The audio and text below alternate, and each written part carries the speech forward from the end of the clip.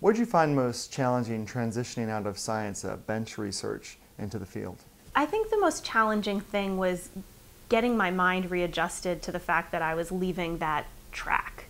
Um, you know, that's the only track I really knew. And then I was entering into sort of uncharted territory. I think also the university environment is a very protective environment. Nobody is, it's not like at a law firm where you have X number of years to make partner, and if you don't make partner, you sort of have a tough decision to make. You can waver around in a university lab as a postdoc for infinity, and nobody's going to ever kick you out.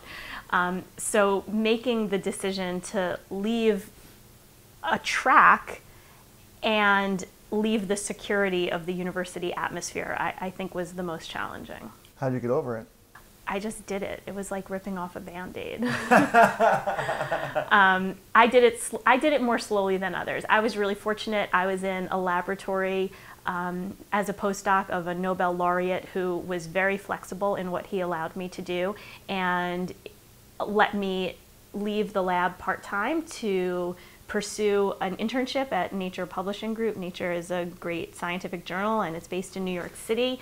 And he let me sort of dip my toe in the water and feel it out. And I got the internship at Nature. And then when it became an offer for a full time position, it was a little bit easier than, than pulling off a band aid.